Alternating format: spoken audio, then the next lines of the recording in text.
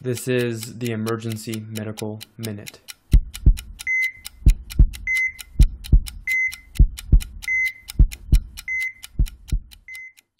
So I was going to talk about something that uh, I've seen a lot more in the last five years than I think I've seen in a long time, which is a vertebral artery dissection.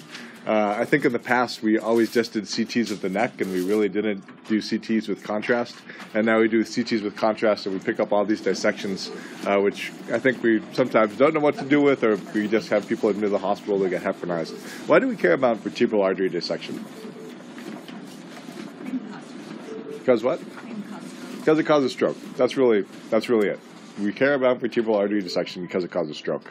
Uh, and, yep. and in all strokes, right? It's around two percent of strokes. It peaks around the fifth decade of life. But when you get to people who are under the age of thirty, uh, it's actually uh, it's actually around twenty five percent of strokes. Um, a lot of these are associated with trauma. That's the thing that's really unique about strokes from vertebral artery dissection, uh, is they're associated with trauma most of the time, uh, and that trauma can be something that's really also kind of uh, kind of not that traumatic. So a lot of chiropractic manipulation is what results in a, a stroke. Uh, one estimate said that one in every 20,000 times that a person has their neck manipulated, it causes a tear. Uh, so that's pretty scary, and there's been a lot of really high profile cases of that. So if you go to a chiropractor, no problem there, just don't let them touch your neck. and I tell patients that all the time.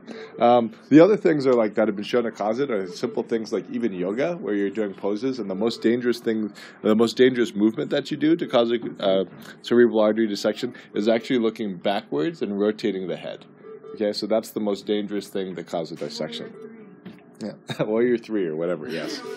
Another great excuse to not do yoga if you're like me. Okay.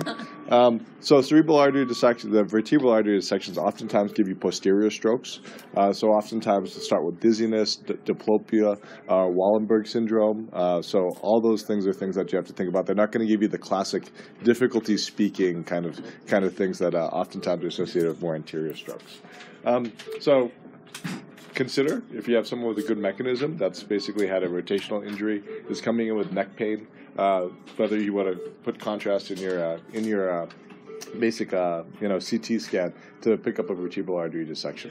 The last thing is most people who have these do really really well so uh, so most people around 50% have zero neurologic symptoms uh, when you get to kind of even really bad dissections, uh, only around less than 5% result in injuries that are bad enough to cause death.